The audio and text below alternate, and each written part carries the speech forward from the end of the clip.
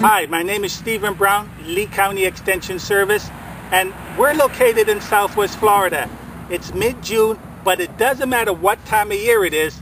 The plants around here always seem to have some kind of problem. At least this crinum lily behind me. So let's go take a look at what's wrong with the crinum.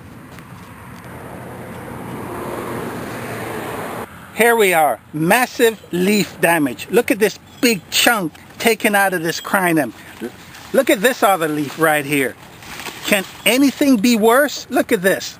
What's causing this great destruction of this crinum lily plant? Can it get any worse than this? Let's go take a look at what's causing this massive damage to the crinum. There's a grasshopper. I'm just as afraid of it as it is of me. It only has one hind leg. But if I can grab it, here it is.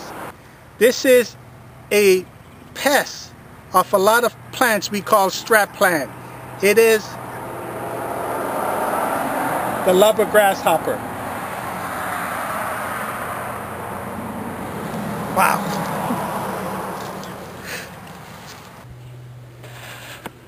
Okay, they're all over this plant and they're doing what they do best. Devastating this plant. You can see them right there. Just chewing away as they go. Apparently, no care in the world. What's that noise?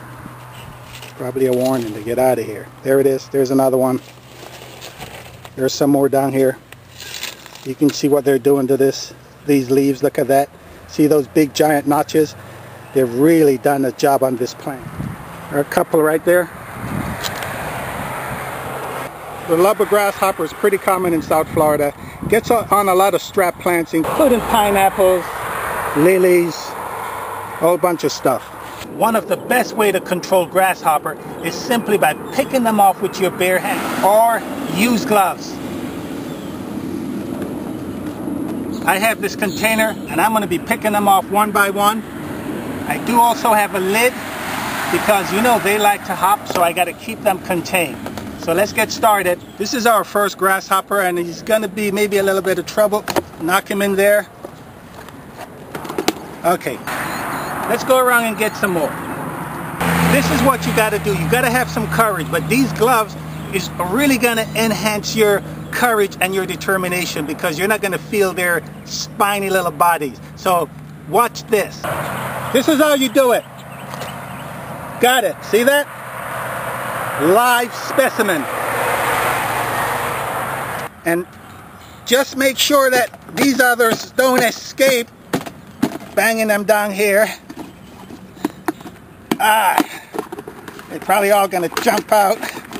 There, it's in there. Got it wrong. Hold on, these lubber grasshopper are tricky. They're not like caterpillars that are gentle.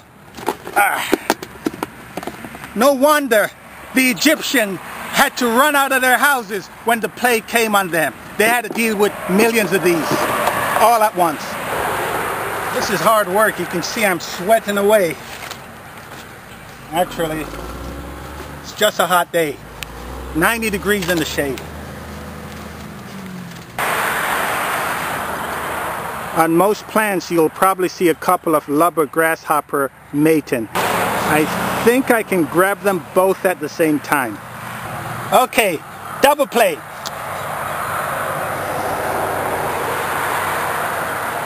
There they are. Got them both with a plague of locusts in a box. This is Stephen Brown with the Lee County Extension Service. And remember, there's always something new to learn in the Florida landscape. I'll see you next time.